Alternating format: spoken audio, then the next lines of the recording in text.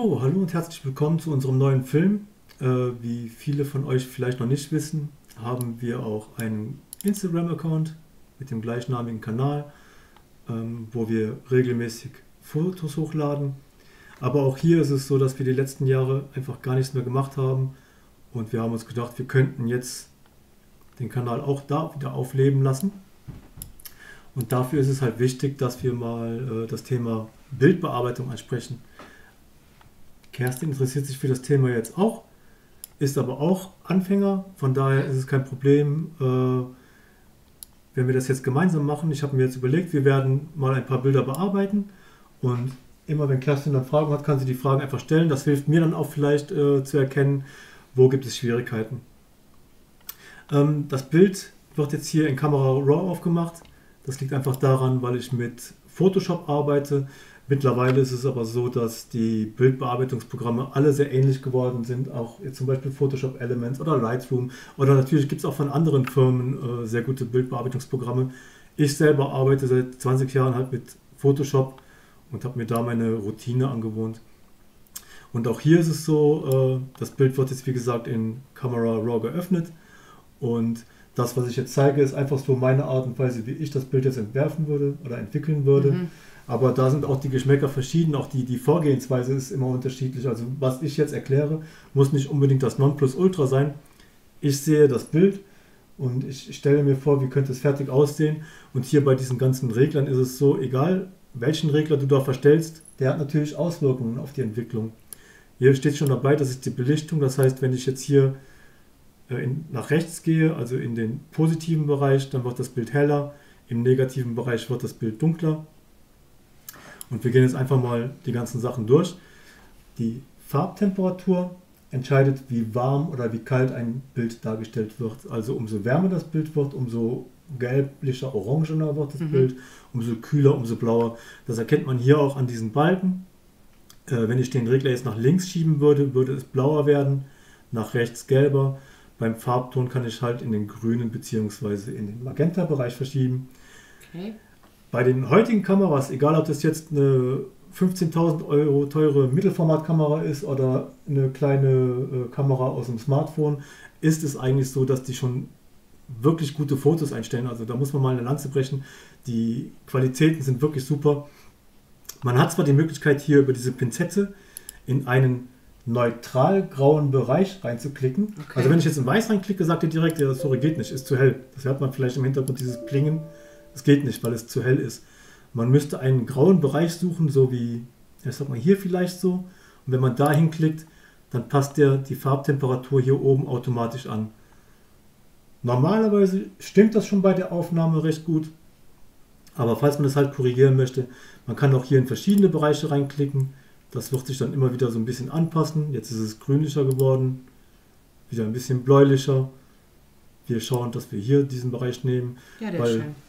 Das, das sieht relativ natürlich ja. aus. Das stimmt. Jetzt ist es so, wir arbeiten die Regler von unten nach oben durch. Die Belichtung heißt, wir können das Bild insgesamt heller oder dunkler machen. Okay. Jetzt haben wir natürlich das Problem, hier die Ränder, die sind recht dunkel. Der Wasserfall selbst ist aber schon sehr hell. Das ist eine äh, Aufnahme, die wurde mit 0,3 Sekunden aufgenommen bei einer Blende von f16. Das wird dir jetzt so nicht so viel sagen, aber dass man mal so ein Verhältnis bekommt, wie war die Aufnahmezeit, wie war die Blende. Die Blende war hier sehr geschlossen mit F16. Die Belichtungszeit mit 0,3 Sekunden war jetzt nicht unbedingt lang, aber wäre zum Beispiel lang, zu lange, wenn du jetzt eine laufende Katze fotografieren wollen würdest, weil okay. die wäre dann verschwommen. Ja. Und das gleiche ist jetzt hier auch passiert mit dem Wasserfall. Anstatt da diese einzelnen Tröpfchen zu sehen, wie man sie beim Wasserfall sieht, durch die etwas längere Belichtungszeit, ist das seidiger geworden, geschmeidiger. Ja, so richtig schön milchig. Und wenn ich jetzt hier hingehe und ziehe das ganze Bild einfach hoch, damit ich hier die dunklen Bereiche heller bekomme, dann wird natürlich auch der Wasserfall heller und man sieht das schon, der fängt jetzt schon an zu, zu blenden, so richtig zu strahlen, weil es einfach zu hell wird.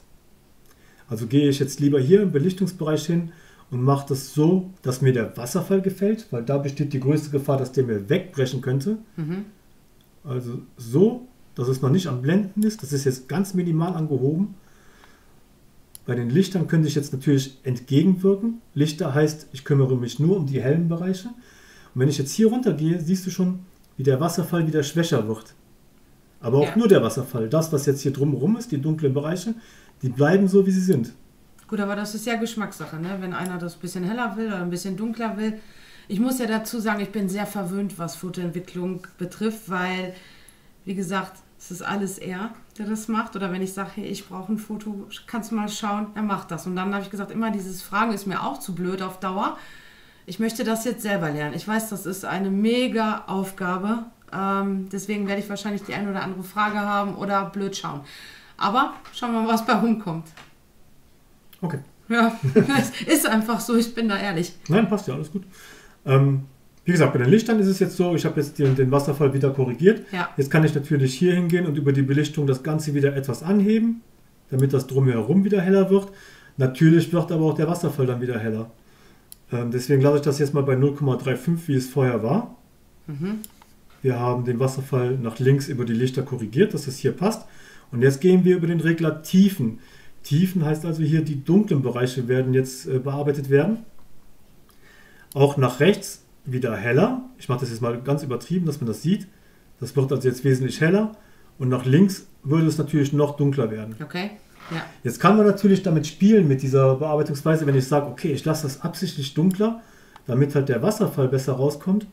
Oder aber ich mache den hinter, äh, diese dunklen Bereiche auch etwas heller, damit das Gesamtbild einfach heller wird. Mhm. Und das würde ich jetzt in dem Fall schon empfehlen, weil ähm, dunkel, da kommt zwar der Wasserfall raus, aber es gehen hier sehr viele Details Ja, verloren. das ist übertrieben auch. Denke ja. ich auch. Ja. Deswegen gehen wir hier lieber etwas höher. Und wie gesagt, man kann halt immer wieder ein bisschen hin und her korrigieren, bis das einem das wirklich passt. Denn egal, was man hier verändert, es ist halt nur in dieser Phase, wo wir gerade am Bearbeiten Okay. sind. Also wir können hier jeden Regler jederzeit wieder verschieben, solange bis wir hier auf Fertig gehen. Dann würde das Bild so fertig abgelegt werden auf der Festplatte. Oder öffnen, dann würde das Bild mit dieser Bearbeitung, die wir gerade haben, geöffnet werden. Aber ist auch kein Problem. Ich gehe jetzt einfach mal auf Öffnen. Das heißt, das Bild wird jetzt hier in Photoshop geöffnet. Und wenn ich jetzt merke, ach Mist, ich hätte vielleicht doch noch was bearbeiten können, Mhm. über Filter, Camera Raw Filter, komme ich wieder in dieses Menü rein.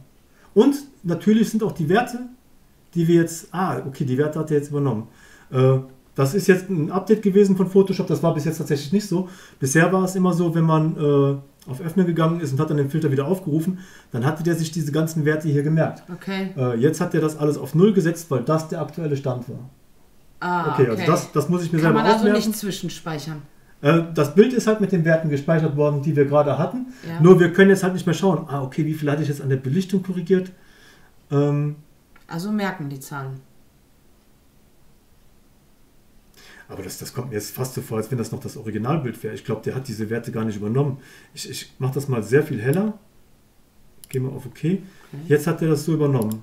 Das speichere ich jetzt mal extra nicht, sondern ich will mal schauen, was passiert, wenn ich jetzt das Original wieder hernehme. Also ich habe jetzt das Original von der Festplatte nochmal geholt. Und hier hat er sich jetzt diese Werte gespeichert, was wir gerade eingestellt haben.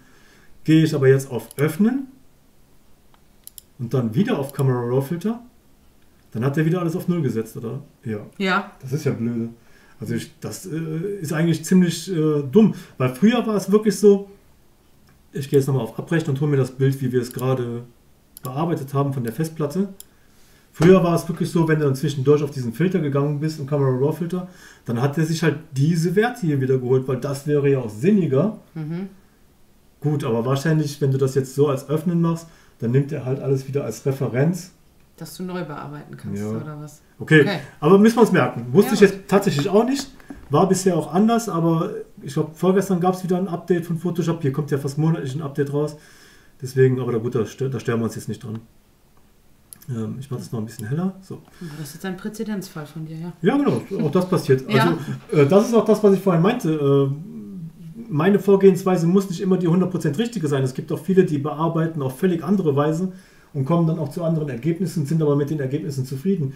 Und gerade wenn es so ein komplexes Programm betrifft wie Photoshop, da trifft man immer wieder auf neue Sachen. Also es gibt niemanden. Ich meine, ich arbeite seit 2001 mit Photoshop, also jetzt seit über 20 Jahren und lerne trotzdem immer wieder was dazu, Ja. weil es andere Methoden gibt. Ich lerne natürlich auch von anderen YouTubern, wie jetzt zum Beispiel Rick Maschke oder äh, Schweighofer sehe ich mhm. gerne. Da, da lernt man auch immer wieder neue Tricks.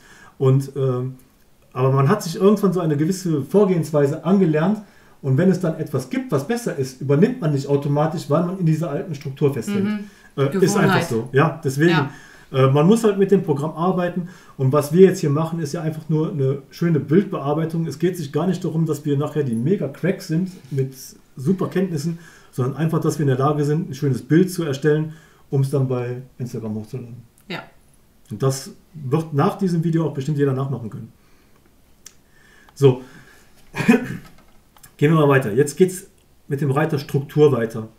Ähm, das, das sagt der Name eigentlich schon, mit der Struktur arbeite ich die Details etwas weiter raus. Also gehe ich nach links, werden diese ganzen Details äh, verwaschener, verschwommener und nach rechts arbeite ich die Details weiter raus.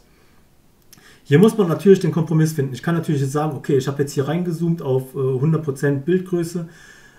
Da geht es natürlich auch darum, äh, wie wird das Bild später ausgegeben, beziehungsweise was habe ich mit dem Foto vor. Wenn das jetzt wirklich nur für Instagram ist, wo das so als kleines Bild dargestellt wird auf dem Monitor oder sogar auf dem Handy, ungefähr in der Größe, dann ist es völlig unwichtig, dass ich jetzt hier mega die Details ausarbeite. Aber wenn ich das ausdrucken möchte zu Hause?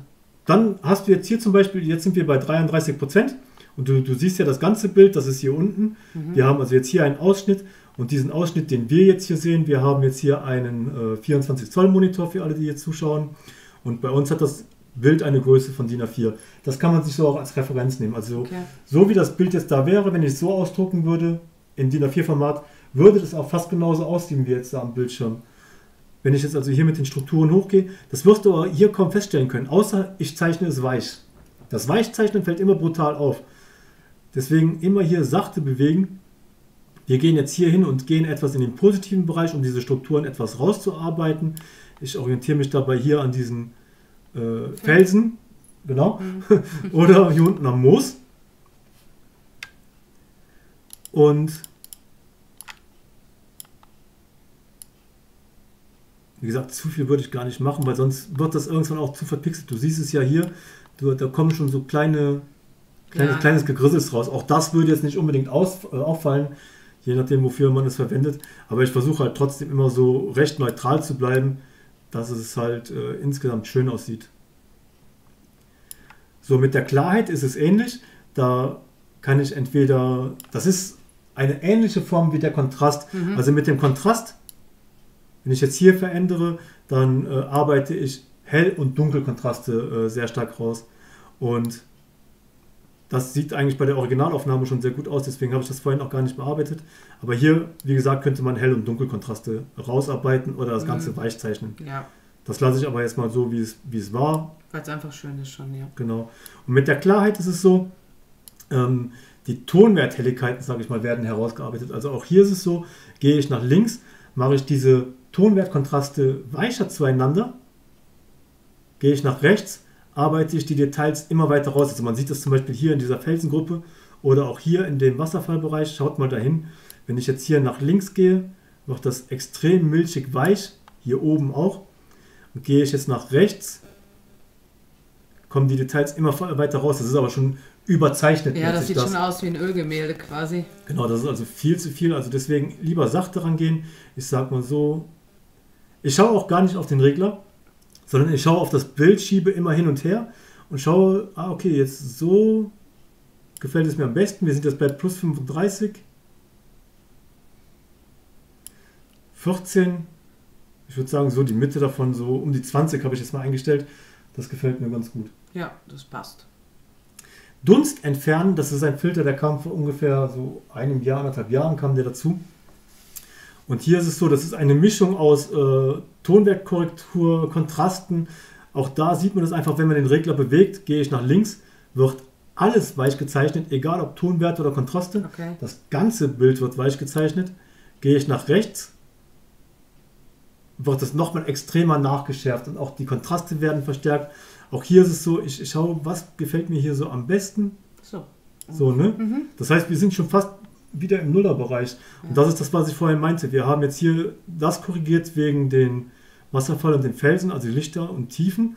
Aber sonst haben wir gar nicht so viel verstellt. Das liegt vielleicht auch dran, weil das Foto von vornherein gut aufgenommen wurde. Also es war, es ist ja schön fotografiert worden. Ja, man sieht, das ist jetzt die K5 gewesen. Die Pentax K5, die ist ja schon Genau. boah, Also- zehn Jahre alt oder so. Ja, aber sie macht wunderschöne Fotos. Ja. Also, wie gesagt, das ist ja nur, dass, dass du da nicht mehr so viel rausholen musst. Das sind ja nur so kleine Details, die du da ändern musst. Deswegen finde ich, es ist ein sehr schönes Bild, so oder so. Also was man äh, auch noch schnell zeigen kann, ist, äh, man sieht ja hier diese Lupe. Ja, Wenn man die linke Maustaste drückt und nach Mhm. rechts schiebt, vergrößert man das Bild. Drückt man nach links, verkleinert man das Bild. okay. Das kann man sich auch mal merken. Und was ich gerade noch gemacht habe, ist, wenn man die Leertaste gedrückt hält, dann verwandelt sich der Zeiger hier in so eine Hand. Das heißt, man könnte das Bild verschieben. Mhm. Wenn man also jetzt sehr nah rangezoomt hat und man will schauen, ah, wie sieht das jetzt hier aus? Leertaste drücken und dann immer mit linker gedrückter Maustaste das Bild so verschieben. Okay, das kann ich mir merken. Ne, Das ist eigentlich Ja, easy. Das sind so kleine Tastaturkostel, die, die lernt man mit der Zeit. Und wir fixieren uns jetzt mal das Bild wieder so relativ. Jetzt können wir noch schauen wegen dem Dynamikumfang Mhm. und wegen der Sättigung. Ähm, das Bild ist schön, aber ich mag es tatsächlich, wenn es etwas, etwas bunter wirkt. Also jetzt Nicht etwas, grün-grau, ja? ja, so etwas übernatürlich, sage ich mal. Das heißt, ich gehe jetzt mit der Sättigung etwas hoch, damit das hier richtig schön saftig wird. Man sieht jetzt hier die Gelb- und Grüntöne in erster Linie, weil das Bild halt überwiegend aus Grau, Gelb und Grüntönen besteht, Mhm. äh, werden hier angehoben. Auch hier kann man natürlich mega übertreiben. Macht man es so rum, Wow. wird's. Äh, also man sieht, hier kommt jetzt noch die Sättigung raus. Das heißt, der Dy- Dynamikumfang, der, der kümmert sich jetzt nicht direkt nur um die, die Buntheit des Bildes, sondern verringert den Dynamikumfang. Das heißt, Ach, interessant. Ja. ist auch interessant. Ja. Also kann man so schöne Color Keys machen, aber das wird ein anderes Thema werden in einem der nächsten Filme. Aber wie gesagt, ich hebe hier lieber den Dynamikumfang etwas an. Das kann man natürlich auch schon bei der Kamera machen, aber ich habe tatsächlich meine Kamera immer auf äh, Standardeinstellungen. Mhm. Ich verändere da gar nichts, sondern mache lieber alles in Photoshop später. So zu bunt wollen wir es auch nicht machen. Ich glaube, so ist ein ganz guter gefällt mir. Kompromiss. Ja, so schön. Lebendig, ja. So. Jetzt das nächste Thema wäre die Gradationskurve. Auch hier ist es so, dass man nochmal Feineinstellungen vornehmen kann, aber man sieht, das hier ist der, der äh, Tonwertbereich hier unten Mhm. und man sieht, der komplette Tonwertbereich ist gefüllt mit Informationen. Also wir haben jetzt hier bei den Helligkeiten keine Ausbrecher, wir haben bei den Tiefen keine Ausbrecher, auch wenn das hier sehr hoch äh, rauf geht, aber wir haben noch nicht oben angetitscht. Man könnte jetzt hier nochmal ein Feintuning vornehmen.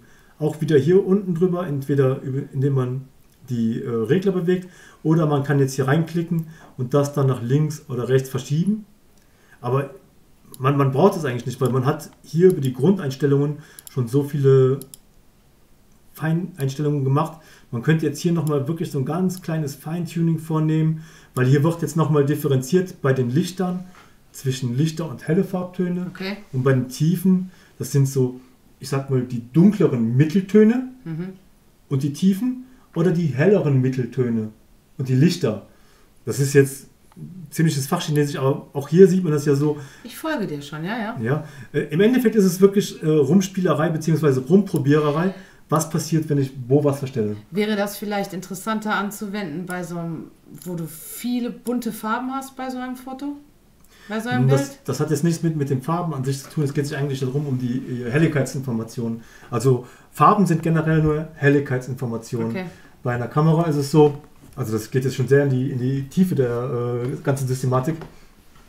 Aber die, die Kameras, die haben einen Bayer-Sensor äh, eingebaut. Genauso wie auch jetzt ein, ein Bildschirm zum Beispiel.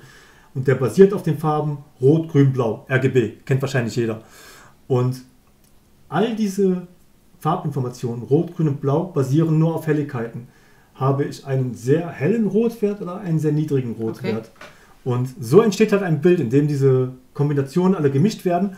Und wenn man jetzt ganz nah an einen Kameramonitor ranzoomen würde, dann würde man wirklich die einzelnen Pixel erkennen. Dann hast du einen roten Pixel, der hell oder dunkel ist, daneben einen grünen Pixel, der hell oder dunkel ist, einen blauen Pixel, der hell oder dunkel ist. Ja, Aber das das, ist- habe ich schon mal gehört. Zum Beispiel, Ja, früher, äh, früher gab es ja diese, diese großen Wahlplakate in den Stadt. ja genau, Stadt genau, da, genau. Genau, da ist Gelb, das. rot, gelb, rot, Ja, grün. Das und da, ich gesehen, ja. das ist dann, äh, also das ist jetzt hier die, die additive Farbmischung. Das Ja. heißt, äh, umso die, die Farben addieren sich und umso mehr Farben addiert werden mit höheren Tonwerten, desto heller wird das. Okay. Und bei diesen Farbplakaten ist das die äh, subtraktive Farbmischung.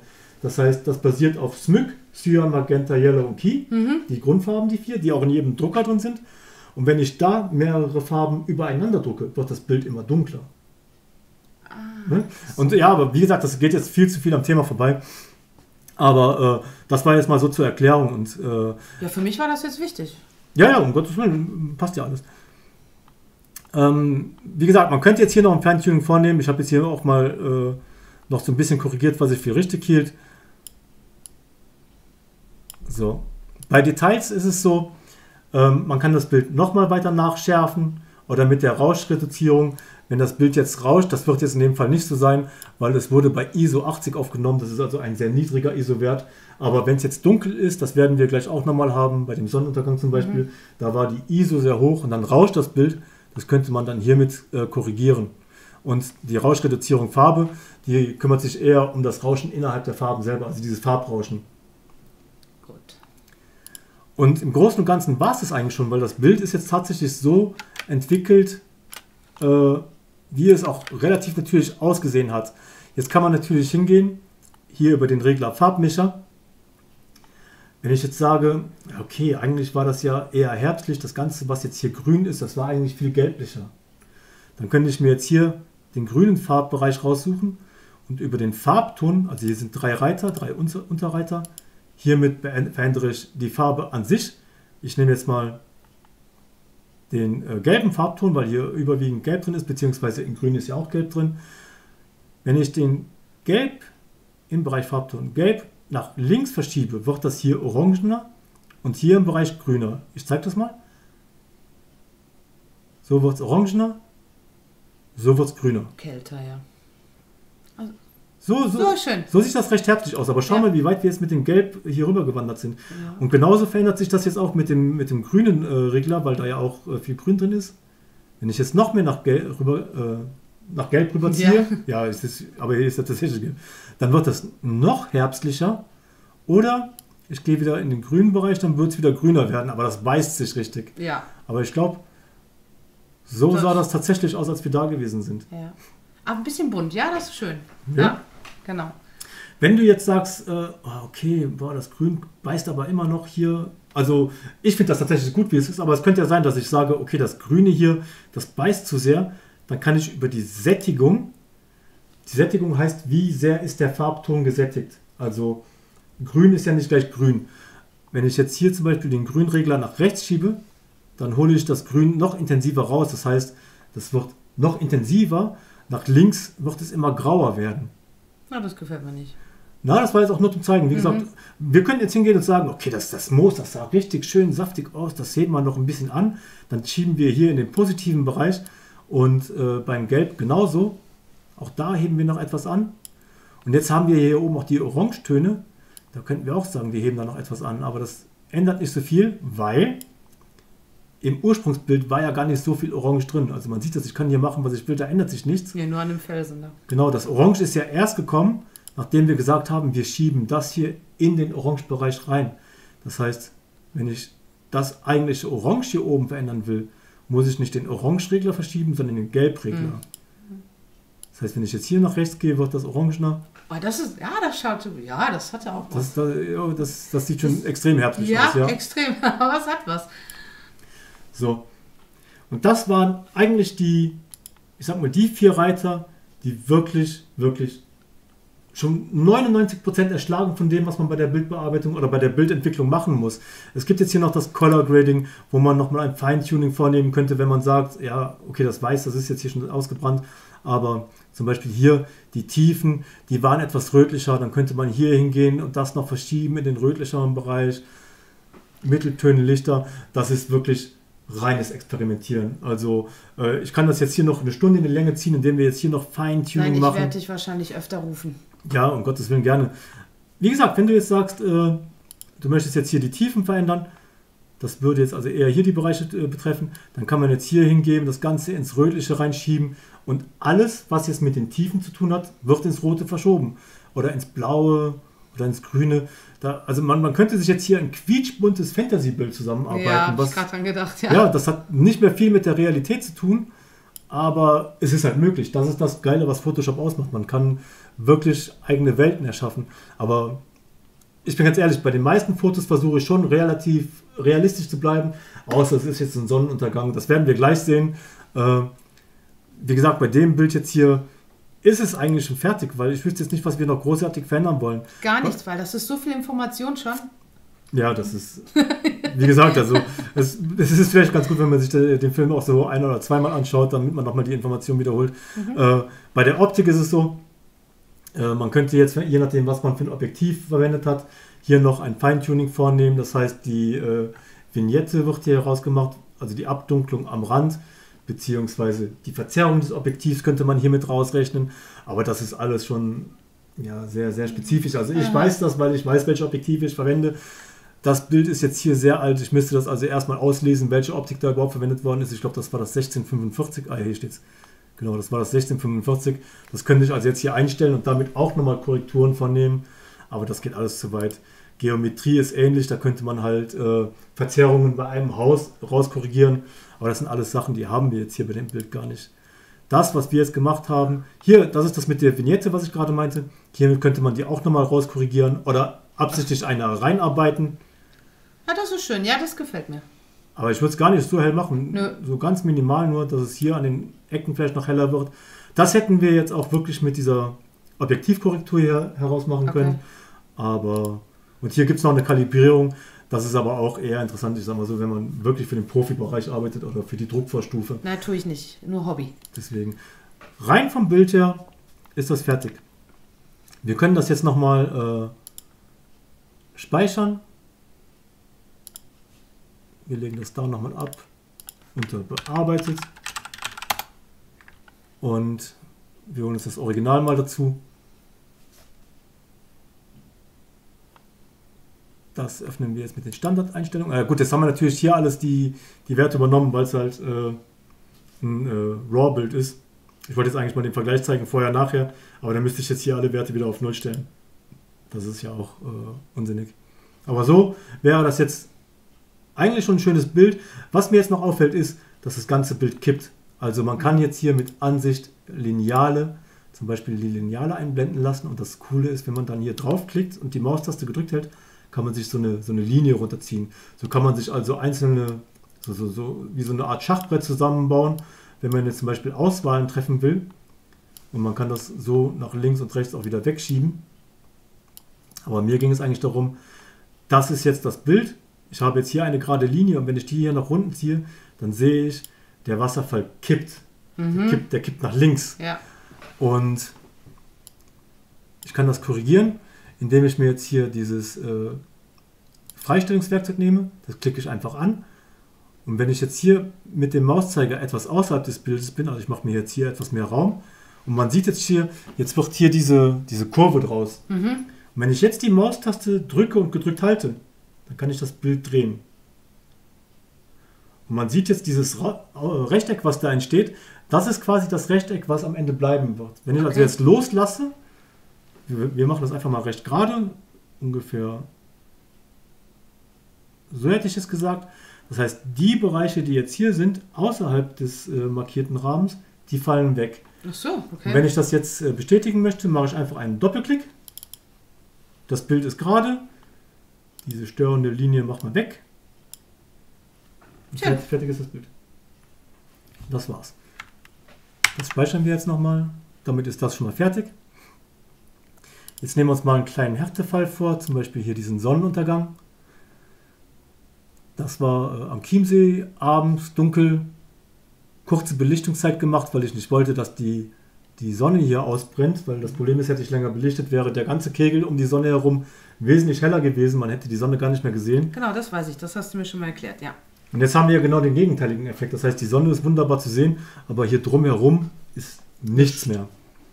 Und jetzt ist hier die Vorgehensweise eigentlich vom Prinzip her genau die gleiche, wie wir gerade auch schon gehabt haben. Wir arbeiten uns Regler für Regler vor. In dem Fall sind die dunklen Bereiche sehr äh, ja, ausgebrannt, sage ich mal. Das heißt, die hebe ich mir erstmal komplett an, soweit wie es geht. Mhm. Ja, macht Sinn. Ja.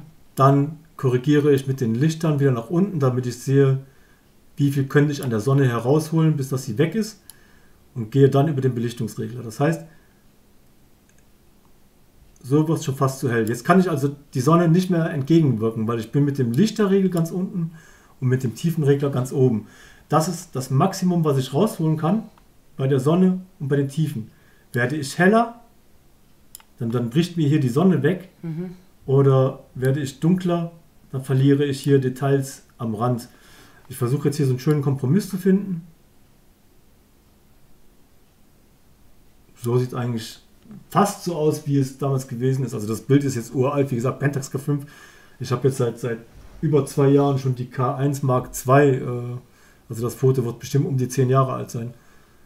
Ähm, aber ich glaube, damals hat das ungefähr so ausgesehen. Ich, ich glaube auch, ist, ja. Ist etwas schwierig jetzt im Nachhinein zu sagen. Ähm, die Struktur, jetzt können wir hier mit der Struktur zum Beispiel wieder arbeiten, indem wir die Steine etwas mehr rausarbeiten oder aber wir sagen, wir machen das Ganze etwas Warum weicher. ein Ausrufungszeichen jetzt? Das ist, weil wir gerade so, weil wir okay. gerade am Bearbeiten sind. In dem Moment, wo ich bearbeite, sagt er, das entspricht nicht mehr dem, dem Bild, wie es tatsächlich ist. Ah, okay. Du siehst also hier quasi, warte, ich kann das vielleicht hier oben besser zeigen. Äh, wir merken uns mal bei 2.10. Durch das Ausrufezeichen siehst du, ah, so sieht das jetzt gerade aus. Mhm. Und ich bewege aber den Regler, das heißt, das, was ich verändere, verändert sich unten nicht. Ich habe so einen kleinen Vergleich direkt. wo Also keine kann- Panik. Nein, nein, das Gut. ist alles gut. Ausrufezeichen sind generell nicht gut, aber in dem Fall sind sie jetzt nicht schlimm. ähm, mit der Struktur, wie gesagt, ich nehme lieber etwas Struktur raus, weil sonst wird mir das zu hart mit den Steinen. Bei der Klarheit können wir gerne etwas hochgehen, weil dann, dann differenzieren sich hier die Farben am Rand etwas mehr. Mhm. Bei Dunst entfernen ist es wieder ähnlich. Auch da gehe ich etwas hoch, aber wirklich nur minimal. So. Und mit Dynamik-Sättigung holen wir uns jetzt die Farben von dem Sonnenuntergang richtig schön raus, dass es wirklich wie so in so einem Fantasy-Bild ausschaut. Und auch hier ist es wieder so, es ist persönlicher Geschmack, wenn jetzt einer sagt, ja Gott, das sieht aber völlig unnatürlich aus, dann mach es anders, mach es so, wie es dir persönlich gefällt. Genau. Äh, Gradation- Gradationskurve und Detail lasse ich jetzt mal weg, weil ich gehe direkt in den Farbmischer rein, denn das Ganze hier hinten sieht schon etwas orange aus, aber ich glaube, das würde noch besser aussehen, wenn das eher so etwas ins Rötliche reingeht. Ja, sicher, weil das ist ja beim Sonnenuntergang, das ist ja gerade das Schöne dabei. So. Und eigentlich ist das Bild jetzt auch soweit schon fertig. Auch hier ist es wieder so, wir können das jetzt mal öffnen. Äh, wir können mal schauen, ob der Horizont gerade ist, weil ich glaube, der kippt ein bisschen nach rechts. Ah ja, minimal. Das liegt aber auch an, der, an, der, äh, an dem Objektiv. Ich glaube, das war auch wieder das 1645. Das ist einfach wahrscheinlich die Objektivwölbung. Auch das könnte man jetzt korrigieren, korrigieren indem man hingeht. Aber das ist eigentlich schon etwas, etwas fortgeschrittener wieder. Aber man könnte jetzt hier hingehen und sagen, ähm, entweder transformieren. Moment, das müssen wir erstmal auflösen. Wenn, wenn du etwas bearbeiten, transformieren möchtest und das ist ausgeblendet, dann heißt das, die Ebene ist in dem Moment gerade gesperrt. Das liegt daran, wir sind auf der Hintergrundebene und wenn ich die Hintergrundebene bearbeiten möchte, dann muss ich das erst Photoshop sagen, weil jetzt in dem Moment kann ich da nichts dran verändern. Ich brauche bloß einen Doppelklick machen, dann wird die umgewandelt in eine normale Ebene und jetzt kann ich hier im Bereich Transformieren alles auswählen und ich könnte jetzt hier zum Beispiel den Bereich äh, Verzerren nehmen und dann könnte man sich das äh, so zurechtschieben, wie man das will. Okay. Das, das ist aber jetzt natürlich etwas übertrieben. Und ich wollte auch eigentlich woanders drauf hinaus, und zwar bearbeiten rückgängig. Wenn man den Filter verflüssigen nimmt, auch dafür muss die Ebene natürlich umgewandelt sein in eine Ebene 0. Wenn ich jetzt hier diesen Wischfinger nehme, man sieht hier in der Mitte diesen Kreis, das zeigt dass das Werkzeug an, mit dem ich gerade arbeite. Ich mache das mal größer. Und wenn ich jetzt den Wischfinger nehme und hier schaue, ah, okay, das ist jetzt so ziemlich ausgerichtet, drücke jetzt einmal die linke Maustaste und schiebe das minimal nach oben. Seht ihr, wie sich das hier verändert? ja. Und somit könnte ich halt den Horizont korrigieren. Dass das relativ gerade wirkt. Aber das ist halt auch Pi mal Auge. Äh, ich habe zwar in der Mitte jetzt diese, diese Linie, die ich durch diesen Kreis da sehe, und darin orientiere ich mich. Das heißt, ich versuche halt genau auf dieser Linie zu sein. Und dann ist der Horizont wirklich schon sehr, sehr gut ausgerichtet. Und mit OK bestätigen. Und ich finde es ein schönes Bild, ja. Ja, man, man kann jetzt nochmal schauen, ist der jetzt wirklich hundertprozentig gerade oder geht der jetzt nach oben? Aber wir haben jetzt eine ganz kleine Wölbung nach oben. Auch die korrigieren wir jetzt noch durch das Freistellungswerkzeug, indem wir das Bild ganz minimal nach links kippen. Und jetzt ist es so, das war schon zu viel, diese, diese Kästchen hier in der Mitte, die jetzt da sind, die kann man natürlich auch ausschalten, weil die sind teilweise störend. Aber man sieht hier rechts neben dem Mauszeiger jetzt diese, diese Gradzahl und bei 0,7 springt er direkt auf 0,0. Das liegt daran, weil wir an, ich breche das mal kurz ab, weil wir hier bei den linealen Ausrichten eingeschaltet haben. Mhm. Das heißt, wenn wir solche Hilfslinien haben, dann richtet sich das Bild immer an diesen Hilfslinien so, aus. Okay. Und wenn ich das jetzt ausschalte und gehe nochmal auf dieses Beschneidungswerkzeug, dann kann ich wirklich um 0,1 Grad, 0,2 Grad, 0,3 Grad korrigieren, dass es wirklich so ist, wie ich es haben möchte. Ich sage mal 0,3, dann sieht das relativ gleich aus. Auch hier fällt jetzt wieder ein Bereich weg. Doppelklicken. Das Ausrichten an der Linie mache ich mir wieder an. So, und damit wäre auch das Bild gerettet. Ich hätte mir natürlich am Anfang eine Kopie machen können des Bildes, dann hätte man jetzt direkt den Vergleich gehabt zwischen vorher und nachher. Okay, machen wir beim nächsten Bild. Machen wir beim nächsten. Aber ihr seht, wie schnell diese Bearbeitung eigentlich geht. Ähm, das speichere ich jetzt mal. So. Das speichern wir auch wieder als PSD. Wichtig ist für, für Instagram, wenn man auf Instagram Bilder hochladen will, am besten als JPEG. Dann wird die äh, Dateigröße verringert. Die Qualität leidet auch minimal darunter. Aber JPEG ist halt für sowas immer gut. Oder auch für, für WhatsApp, wenn man Bilder verschicken will, immer JPEG. Okay. So. Jetzt haben wir eigentlich äh, nur noch den Wasserfall von der Pasterze. Das war oben auf dem Großglockner. Und ja, das hat tatsächlich so da ausgesehen. Ich meine, ja. das, das sieht jetzt aus, als wenn das mit einem Infrarotfilter aufgenommen worden wäre. Das glaubt einem keiner. Also ja. Leute, falls ihr mal da seid, geht dahin, schaut es euch an und es ist eins zu eins so, auch mit der Spiegelung. Ja. Das ist der Wahnsinn da gewesen. Und auch hier gehen wir jetzt wieder hin, arbeiten ein bisschen die Tiefen aus. Die Lichter können wir noch etwas höher, damit uns hier der Großglockner nicht verloren geht. So, Dynamik etwas anheben, den Farbton etwas anheben. Okay, das wird jetzt zu bunt. Ja. Aber ist ja auch wieder Geschmackssache bei jedem. Ja. Wenn einer möchte, dass das nicht nur Gesteinsfarbe ist, der kann sich das auch ja. im Bunt machen. So, jetzt können wir hier natürlich sagen, äh, wenn man das jetzt hier korrigieren möchte, könnte man das natürlich auch äh, etwas grünlicher machen. Aber ich glaube, so sind wir recht nah dran. Oder das grüne Wasser, wenn wir jetzt sagen, das grüne Wasser, das war ja eher bläulich. Jetzt müssen wir schauen, welcher Farbton da eher zutrifft. So das hier. Das wird ja, dann also noch grüner, noch intensiver. Aber wie gesagt, das, das sah tatsächlich so aus. Da ähm, können jetzt noch. Hier, ach ja, den Reiter Luminanz, den habe ich noch gar nicht erklärt. Und zwar Farbton und Sättigung. Das hatte ich ja vorhin erklärt. Bei Farbton ändere ich den Ton mhm. in die mhm. gewünschte Richtung. Bei Sättigung kann ich jetzt zum Beispiel bei Orange sagen, wir nehmen etwas Sättigung raus, damit das nicht ganz komplett braun wird. Oder im Gegenteil, mach es wieder rein. Und mit der Luminanz ist es so, weil jetzt hier die Berge recht dunkel sind, wenn ich Luminanz auswähle, Luminanz ist die Helligkeit des Farbtons. Okay. Und dadurch, dass wir jetzt bei Orange sind, wenn ich jetzt nach rechts gehe, hebe ich nur die orangenen Farbtöne an. Also ihr seht das, der, der Himmel selber hier oben verändert sich nicht. Die Wolken ja, weil in den Wolken wahrscheinlich auch so ein bisschen Orange drin enthalten ist. Deswegen hebt sich das mit an. Aber ich arbeite jetzt tatsächlich nur mit den orangenen Tönen. Genauso ist das, wenn ich sage, äh, der See, das war wahrscheinlich hier so in dem Farbton. Den kann ich jetzt hier dunkler machen oder heller. Und ihr seht das jetzt hier schon. Äh, so ist es ungefähr original. Wenn ich jetzt nach links runter gehe, arbeite ich hier in dem Bereich die Details der Spiegelung weiter raus. Also nach links kommen die Details besser raus, nach rechts gehen die verloren. Und so kann ich diese Spiegelung sogar in dem äh, kleinen See da beeinflussen. So, und das ist eigentlich die Kernaufgabe von, von der Bildbearbeitung. Was man jetzt noch beachten muss, bei äh, Instagram ist es ja so, ah, ich habe das Fenster schon zugemacht, bei Instagram ist es ja so, die Bilder sind quadratisch. Mhm. Das heißt, wenn ich jetzt sage, ich möchte ein quadratisches Bild haben, nehme ich auch wieder dieses Beschneidungswerkzeug. Und jetzt könnte ich entweder die Shift-Taste gedrückt halten, das ist diese Taste hier mit dem Pfeil nach oben, die Shift-Taste gedrückt halten und mit der linken Maustaste ein Rechteck aufziehen. Das ist dann auch quadratisch und mir das dann so korrigieren, wie ich möchte. Also solange wie ich nicht Enter drücke, kann ich jetzt hier hin und her schieben. Also mhm. kein Doppelklick und kein Enter.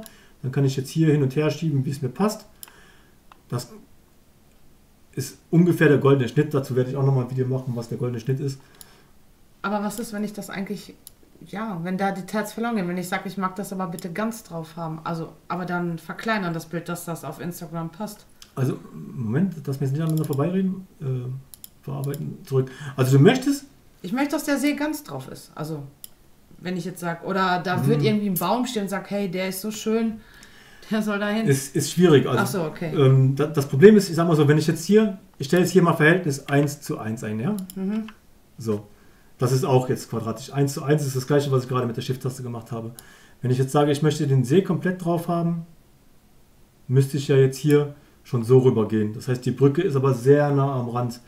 Und das Problem ist, wenn ich jetzt hier sage, ich möchte aber hier noch mehr drauf haben, dann sind hier leere Bildinformationen. Okay, ja. Aber auch dafür gibt es eine Möglichkeit. Die Photoshop bietet, die ist allerdings nie hundertprozentig. Man muss da wirklich sehr viel nacharbeiten. Ich mache jetzt mal Ansicht, ganzes Bild. Das ist unser Bild, wie wir es jetzt haben. Ja, und das möchte ich halt so klein haben, dass alles drauf ist für Instagram. Ja, warte. Ähm, so, über Bild Arbeitsfläche. Kann ich mir anzeigen, wie das Bild jetzt gerade ist von der Größe her. Mhm. Ich sehe, das ist 41,72 breit, 27,64 hoch. Also ein Breitformatbild. Wenn ich jetzt die Höhe der Breite anpassen will, muss ich natürlich jetzt hier auch 41,72 angeben. Ne? Mhm. Dann wäre das ein quadratisches Bild.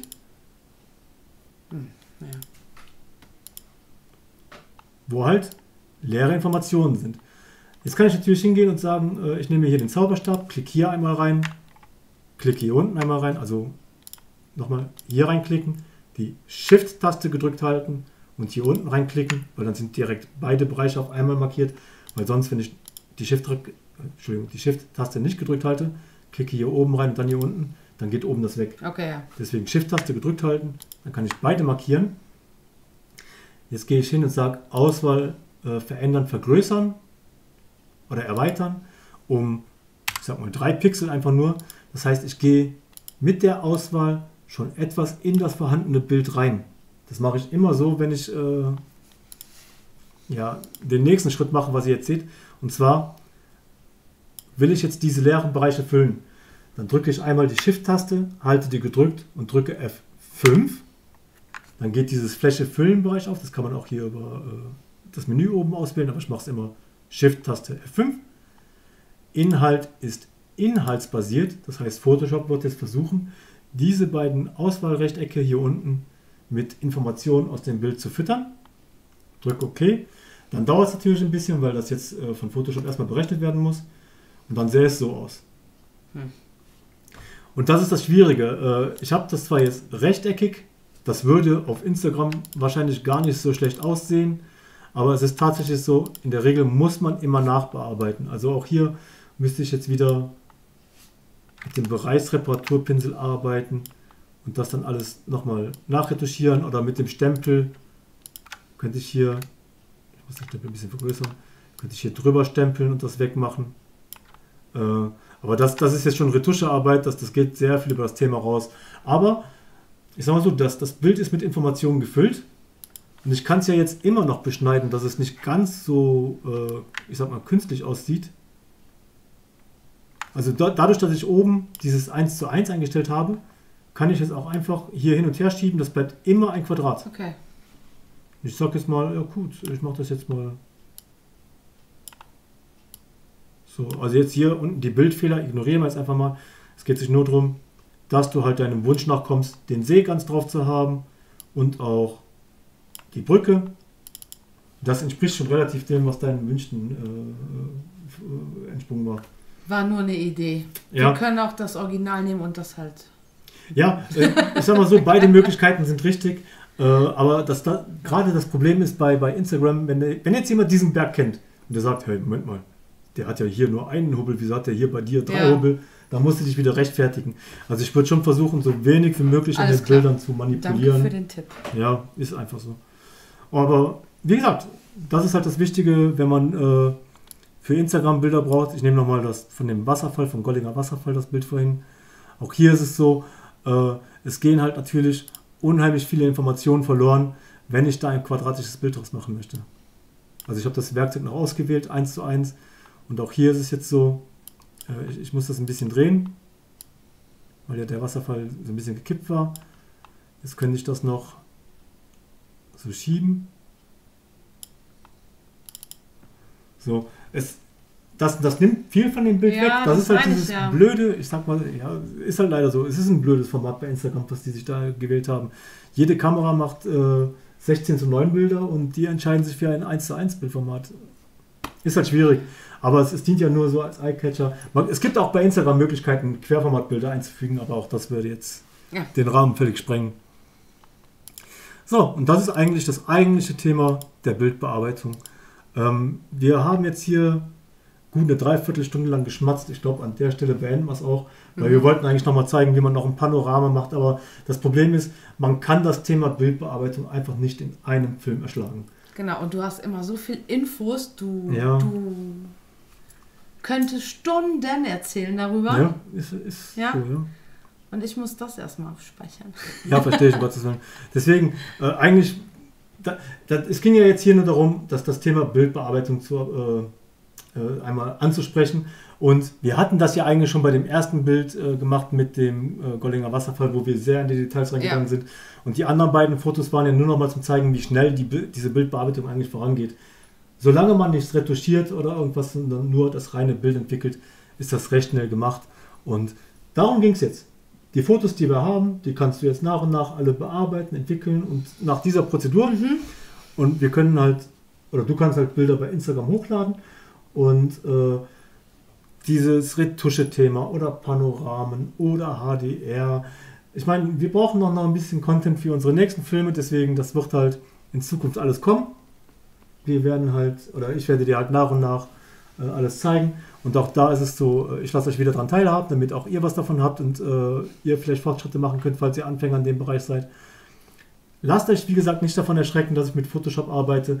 Bei den anderen Bildbearbeitungsprogrammen ist es ähnlich. Auch da habt ihr sehr viele äh, Einstellungsmöglichkeiten. Es gibt zahlreiche, wirklich, wirklich gute Bildpro- äh, Bildbearbeitungsprogramme, wie zum Beispiel GIMP. GIMP ist komplett kostenlos und man kann damit wunderbare äh, Bildentwicklung oder auch Manipulationen, Collagen und sowas alles machen. Ähm, ich zeige es in Photoshop, aber es ist in vielen anderen Programmen nachzumachen und Du arbeitest äh, mit Photoshop Elements, das können wir gerne auch nochmal zeigen.